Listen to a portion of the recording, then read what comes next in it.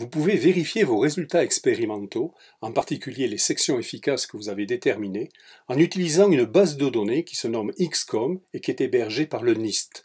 Le NIST, c'est le National Institute of Standards and Technology. C'est un institut scientifique américain qui s'occupe de métrologie et de bien d'autres choses encore. Le site pour accéder à cette base de données, l'URL pour le site est dans le document, donc vous cliquez et ça vous mènera directement sur ce, site-là.